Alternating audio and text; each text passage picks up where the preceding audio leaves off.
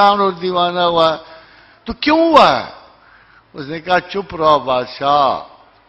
گفت خامش، اے کہ مجنو نیستی۔ بادشاہ، تجھے نہیں میں نظر آؤں گا، تو مجنو نہیں ہے۔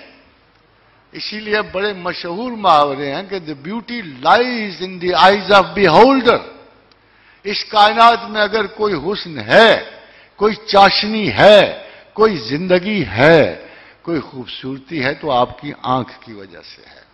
آپ کے ذہن کی وجہ سے ہے۔ اللہ نے آپ کو پڑھنے والا بنایا ہے۔ ایک اس میں رب کلّہ جی خلق۔ آپ کو پڑھنے والا بنایا ہے۔ آپ کو سوچنے والا بنایا یہ کائنات پتہ نہیں کتنی آتی، کتنی گزر جاتی۔